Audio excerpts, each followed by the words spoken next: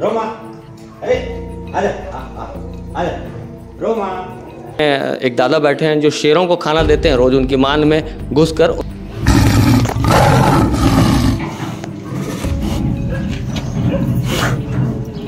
जैसे खासकर tiger lion leopard जो हैं उनके बाई बर्थ उनको प्रकृति की देन होती है कि वो हिंसक ही नेचर के होते हैं। दाल कि किसी जानवर ने आप पे कभी अटैक करने की कोशिश की हो खाना देते समय? में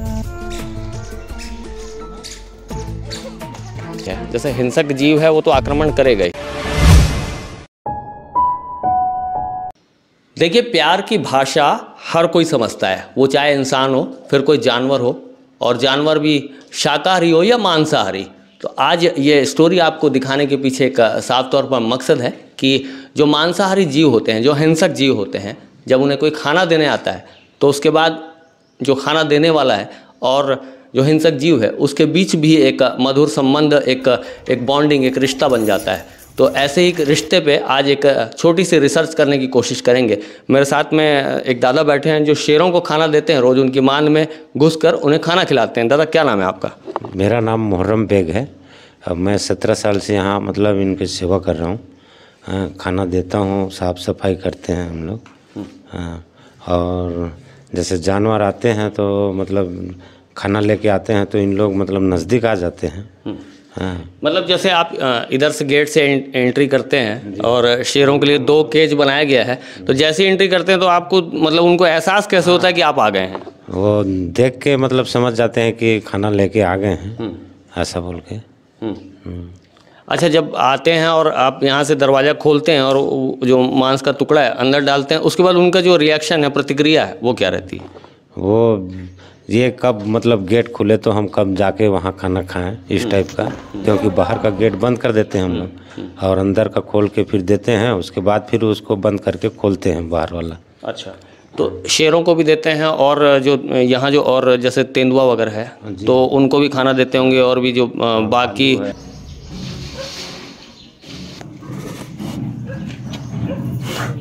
ये भालू है। और घड़ियाल है इनको भी खाना वगैरह देते होंगे। घड़ियाल का तो खैर वो दूसरे ग्रुप वाले देते हैं। हम तेंदुआ है शेर है भालू है इनका मतलब वो खाना देते हैं। तो सत्रह सालों के एक लंबे कार्यकाल के दौरान कभी ऐसा हुआ है कि किसी जानवर ने आप पे कभी अटैक करने की कोशिश की हो खाना देते समय में या कभी कोई हिंसक आचरण किया हो? नहीं जी नहीं ऐसा कभी तो अभी तक तो हुआ नहीं है। और ना ही मतलब ऐसा मतलब कोई अपने को दिखा है कि अपने को मतलब हमला करने वाला है या कोई गुर्रा के मतलब ऐसा हाँ नज़दीक आ रहा है। इस टाइप का नहीं अभी तक हुआ है। मैत्री गार्डन प्रबंधन से मेरे साथ में एक और भाई साहब अधिकारी हैं और वो भी यहाँ पर जानवरों के आहार विहार और उनके आचरण के संबंध में गंभीर रहते हैं और रिसर्च लगातार करते रहते हैं। भाई साहब बताएँगे जो ये हिंसक जीव है और समझ लीजिए कि जंगल में रहता है तो जंगल का बादशाह कहलाता है। जी जी। लेकिन अभी जब है तो अभी एक मानव के हाथों में आज है निर्भर है कि कहीं ना कहीं आज एक मानव आएगा तभी उसको कुछ ना कुछ मैसर हो पाएगा।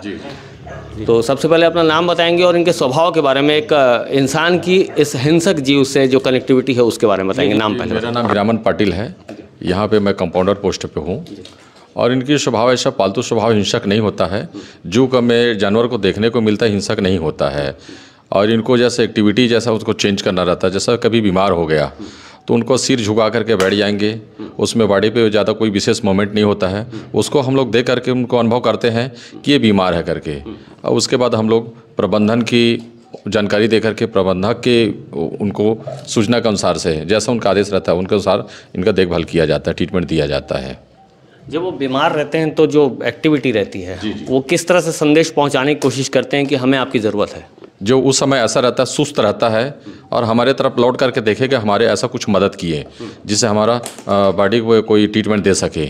इस तरह से उसमें मोमेंट देखने को मिलता है। जी जी।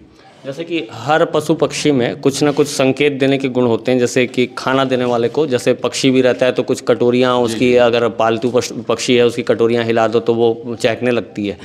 और हिंसक पशु हैं वो जैसे अब दादा बता रहे हैं कि अंदर आते ही साथ में उनकी एक्टिविटी शुरू हो जाती है और इन्हें पहचानते भी हैं। तो इस तरह की जो मानसिकता है एक जानवर के अंदर भी डेवलप रहती है।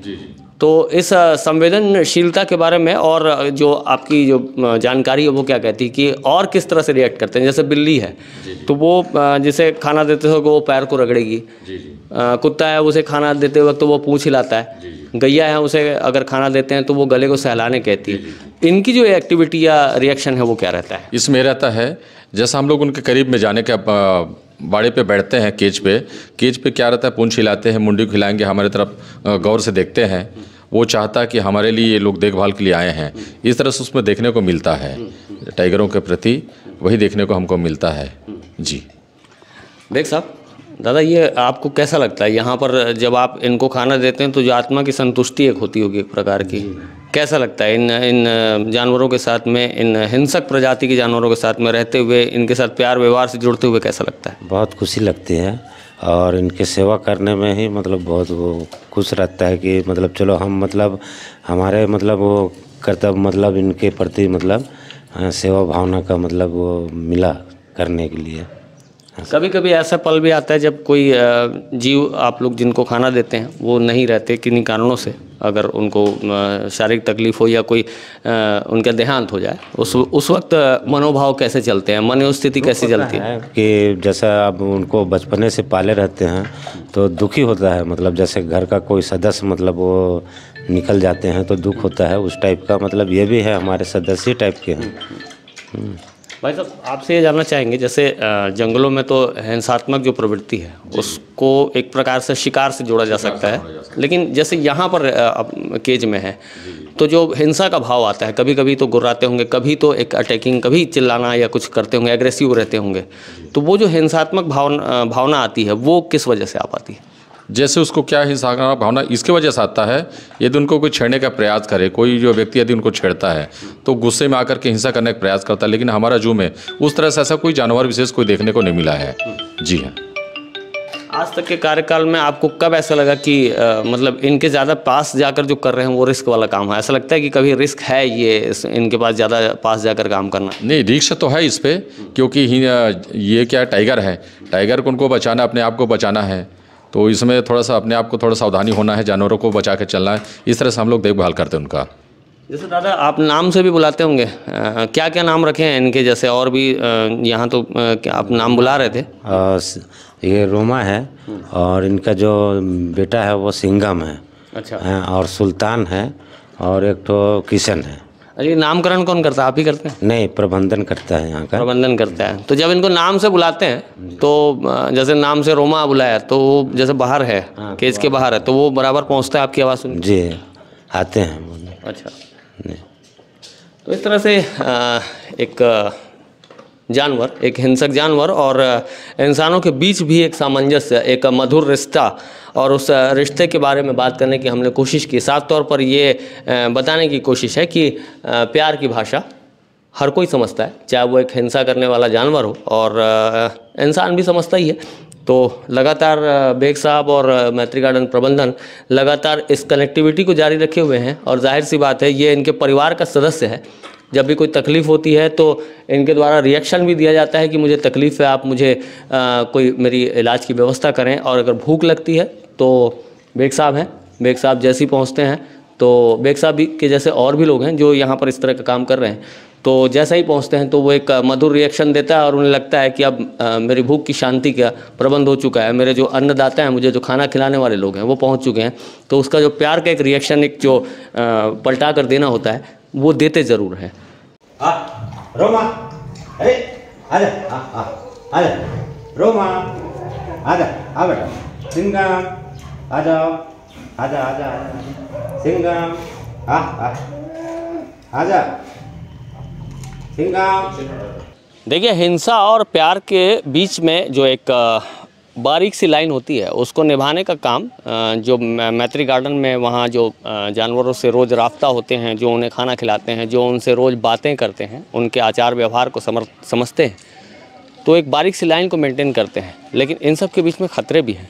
हिंसक जानवर जो हैं, वो अचानक से हिंसा भी कर बैठते हैं, लेकिन आज तक ऐसी घटनाएँ नहीं हुई हैं। इस बारे में जो उनकी मनोवृत्ति है, मनोविचार है, जो उनके मस्तिष्क में क्या चलता है, उस बारे में बातचीत करने के लिए यहाँ डॉक्टर साहब हैं नवीन साहब हैं, नवीन जैन साहब। सर, ये जो प्रवृत्ति रहती है, जैसे हिंसक जीव है, वो तो आक्रमण करेगा ही, लेकिन एक कनेक्टिविटी हो जाती है जो उन्हें रोज़ खाना दे, जो उनसे रोज़ यूज़ टू रहे, जो उन्हें नाम लेकर पुकारे, बातचीत करे।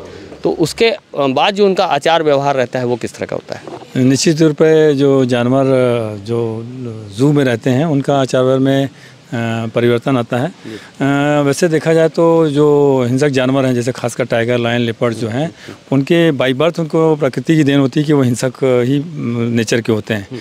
लेकिन जब उनको प्यार से पाला जाता है, खासकर जू में स्पेशल केयर किया जाता है तो जो खाना देने वाले हैं, जो जू कीपर्स होते हैं, जो उनके साथ रख रखाव करते हैं, उनके साथ एक अटैचमेंट बॉन्डिंग हो जाती है। तो वो उनका व्यवहार जब भी वो जब जाते हैं तो दूर से उनका इंतज़ार करते हैं। जैसे हमारे किसी वी के समय उनको बुलाना जाए तो वो जो जू कीपर्स हैं, जो उनके खाना देते हैं, उनके बुलाने से तुरंत आ जाते हैं, उनके नाम से उनके रिएक्ट करते हैं एक्टिव हो जाते हैं। तो निश्चित उनका प्यार, उनसे अटैचमेंट तो हो जाता है। जैसे कि आप बता रहे थे कि पटना में जैसे एक घटना हुई थी। उसमें मतलब एक, क्या हुई थी आप? एक्चुअली में देखा जाए तो जू कीपर्स होते हैं जो खासकर हर टाइगर्स का और हर एनिमल्स का वो फीडिंग देते हैं। तो पटना जू की एक जानकारी प्राप्त हुई थी, बहुत पुरानी घटना है, जिसमें क्या हुआ था कि एक टाइगर बीमार पड़ा था तो उसका रख उसकी देखभाल के लिए, उसकी ट्रीटमेंट के लिए एक जू कीपर फुल टाइम उसको देता था और कई बार रात को रुक भी जाता था। और वो पूरी तरह से टाइगर का केयर किया और वो स्वस्थ भी हो गया। पता नहीं एक दिन क्या हुआ, उस टाइगर ने उस अपनी हिंसक प्रवृत्ति को दिखला के और उसको उस जू ऊपर को मार दिया।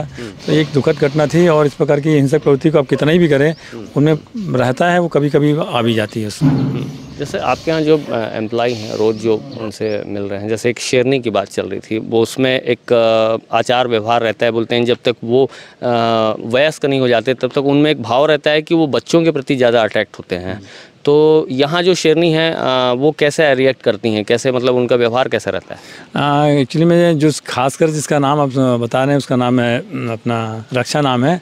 और रक्षा जो है वो फीमेल और मेल से फीमेल थोड़ा कंपेरिजन में लगाव में ज़्यादा प्यार में ज़्यादा रिस्पांस करती हैं।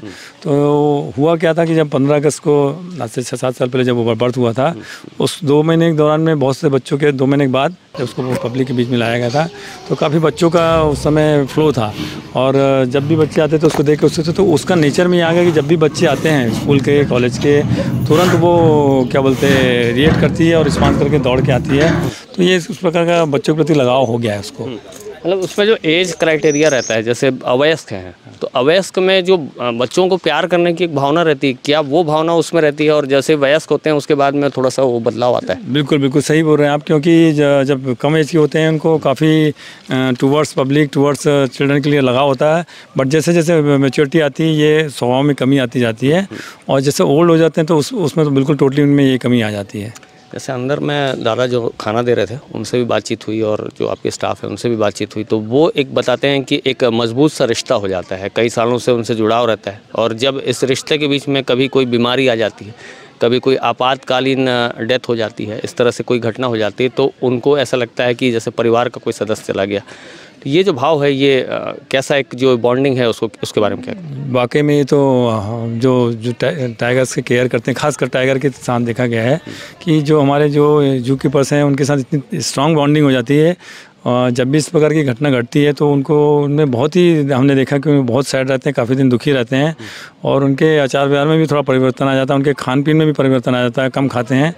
ये उनका लगाव ही दिखता है जो जाने के बाद, खोने के बाद उनको दिखाई देता है हम लोगों को। तो ये जैन साहब हैं और साफ़ तौर पर जैसे आचार विहार की हम बात कर रहे थे, आचार विहार व्यवहार तो ये एक इंसान के साथ भी ज़रूरी है, एक जानवर के साथ भी ज़रूरी है और इस तरह से जो बाउंडेशन है, वो इसी तरह से जुड़ता है और ये कहानी आपको पहुँचाने के पीछे, ये जो बातें आपको पहुँचाने के पीछे साफ़ तौर पर एक मकसद है कि इंसान और जानवरों के बीच भी एक रिश्ता होता है, उस उस रिश्ते को निभाने वाले के ऊपर निर्भर करता है कि वो उसको हिंसात्मक होने के बावजूद अपने कितने करीब ला पाता है। अगर आपको ये बातें अच्छी लगी होंगी तो इन बातों को आगे बढ़ा सकते हैं। अगर आपको हमारा चैनल पसंद आ रहा होगा तो सब्सक्राइब कर सकते हैं। और जो वीडियो के नीचे आपकी कोई राय हो, कमेंट बॉक्स आपका है, उस राय को कमेंट बॉक्स में ज़रूर रखें।